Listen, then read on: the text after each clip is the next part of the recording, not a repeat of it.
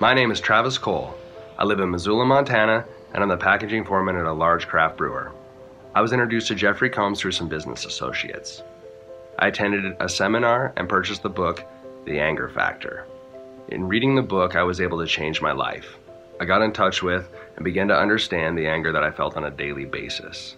The content of the book helped me to understand that that anger was based on emotional triggers from my past that came out in frustrating situations. I began to become objective and honest with myself about the emotions that I felt, their negative effects, and their triggers. I would suggest this book for anyone who's looking to do the same for themselves, to understand and release the negative emotions that are holding you back from reaching your full potential in life and in business.